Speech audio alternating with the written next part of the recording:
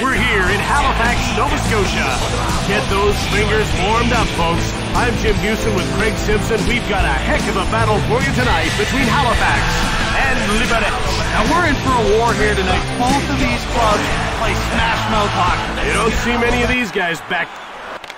The ref indicates a delayed call. Rakos will get the gate for boarding.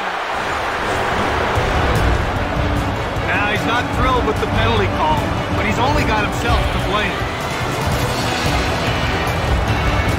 Liberec will try and take advantage of a penalty here. Well, we haven't seen the power play yet tonight, but we know they're going to be in it. Wrist shot, blocked in front of the net, snapped just wide of the goal. Cervini, it's two on one. Fires it right on. He scores, and we're tied at one.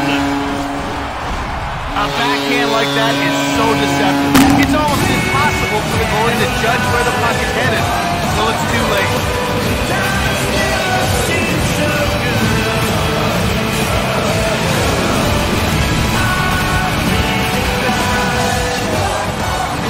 The goes to...